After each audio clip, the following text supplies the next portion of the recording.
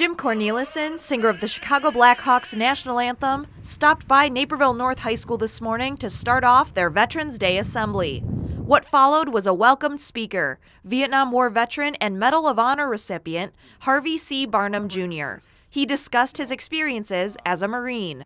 Being a Marine is an awesome responsibility because you carry on your shoulders a proud tradition that hundreds of thousands of Marines have gone before us have done in 242 years.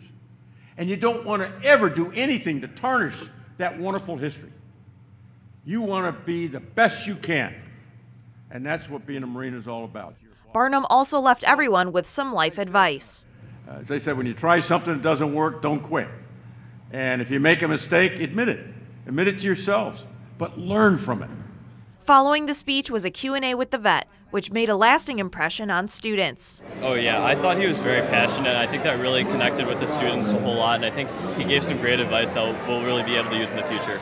I thought it was really, really interesting, and it was pretty effective to see all the students stand up for something and be united over something like this.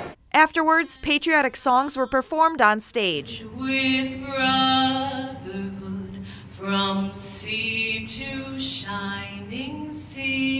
And Naperville North's own vets stepped up to be recognized and thanked for their service. Reporting for Naperville News 17, I'm Christine Lena.